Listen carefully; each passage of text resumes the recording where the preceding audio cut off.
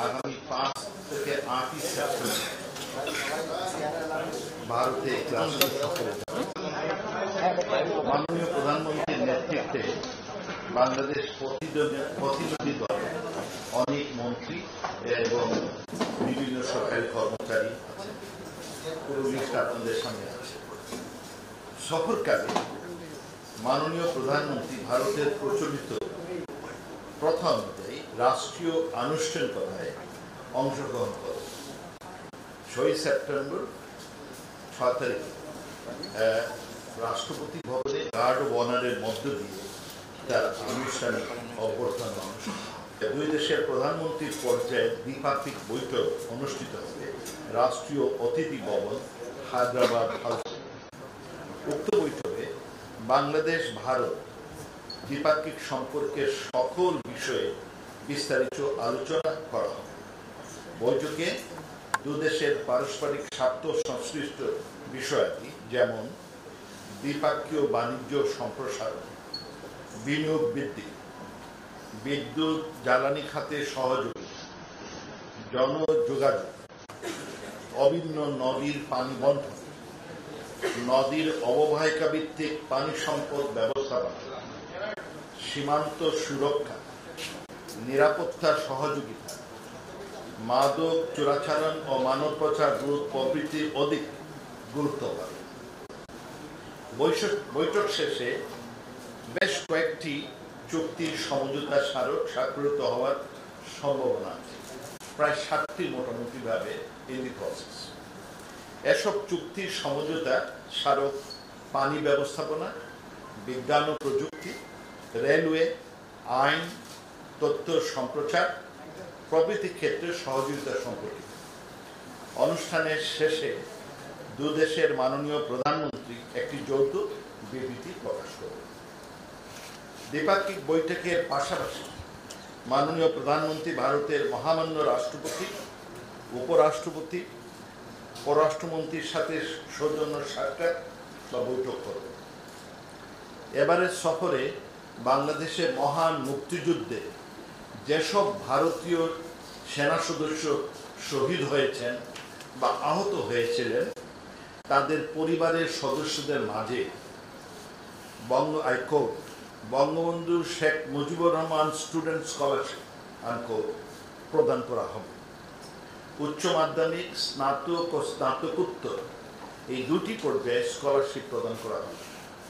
মাননীয় প্রধানমন্ত্রী এ অনুষ্ঠানে সশরীর উপস্থিত থেকে শহীদ ও আহত ভারতীয় সেনা সদস্যদের পরিবারের মাঝে এই স্কলারশিপ নিজ হাতে তুলে দেবেন এর মাধ্যমে বাংলাদেশের স্বাধীনতা যুদ্ধে ভারতীয় সেনা সদস্যদের মহান আত্মত্যাগকে যথাযথ সম্মানের সাথে স্মরণ করা হবে।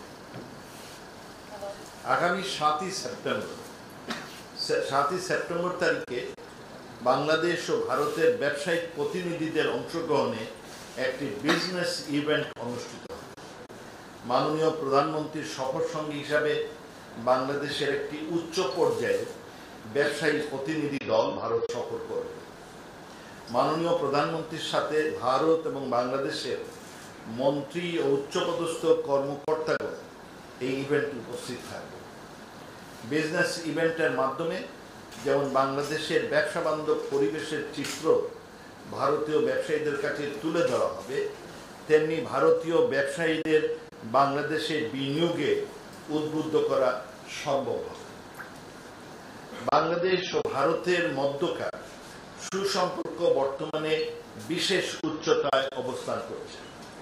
বন্ধুপ্রতিম প্রতিবেশী দেশ ভারতের সাথে শান্তিপূর্ণভাবে স্থল সীমানা ও সমুদ্র সীমানা নির্ধারণ সারা বিশ্বের সামনে সহযোগিতার ঐতিহাসিক দৃষ্টান্ত স্থাপন করেছে।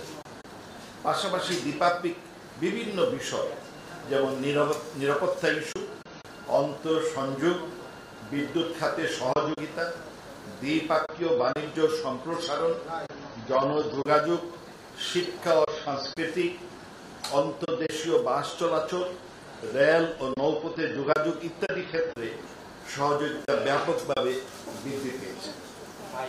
মাননীয় প্রধানমন্ত্রী দুই হাজার উনিশ সালের অক্টোবর মাসে সর্বশেষ ভারত সফর করেন। পরবর্তীতে কোভিড মহামারীর ফলে বিগত দুই সালে বাংলাদেশ ও ভারতের প্রধানমন্ত্রী এক ভার্চুয়াল সামিটে অংশগ্রহণ করেন। দুই হাজার একুশ সালের মার্চ মাসে ভারতের প্রধানমন্ত্রী এবং ডিসেম্বর মাসে ভারতের মহামান্য রাষ্ট্রপতি জাতির পিতা বঙ্গবন্ধু শেখ মুজিবুর রহমানের একশততম জন্মবার্ষিকী, বাংলাদেশের স্বাধীনতা অর্জন- অর্জনের সুবর্ণ জয়ন্তী এবং ভারত বাংলাদেশ কূটনৈতিক সম্পর্ক স্থাপনের সুবর্ণ জয়ন্তী উদযাপনের লক্ষ্যে বাংলাদেশ সফর করেন এমত অবস্থায় মাননীয় প্রধানমন্ত্রীর আসন্ন সফরে বাংলাদেশের স্বার্থ সংশ্লিষ্ট বিভিন্ন অনিষ্পন্ন বিষয়ে সুনির্দিষ্ট দিক নির্দেশনা অর্জন করা যাবে বলে প্রতীয়মান হয়। বাংলাদেশ ও ভারতের মধ্যে বিদ্যমান সুসম্পর্ক গভীরতর হওয়া সহ সার্বিকভাবে এই সম্পর্ককে আরও এগিয়ে নিয়ে যাওয়ার লক্ষ্যে নতুন নতুন উদ্যোগ গৃহীত এই সফর বাংলাদেশ, ভারতের মধ্যকার পারস্পরিক স্বার্থ সংশ্লিষ্ট বিষয়াদি ও বিদ্যমান গতিশীল সম্পর্ক আরও সুসংস- সুসংহত করবে বলে আশা করা যায়।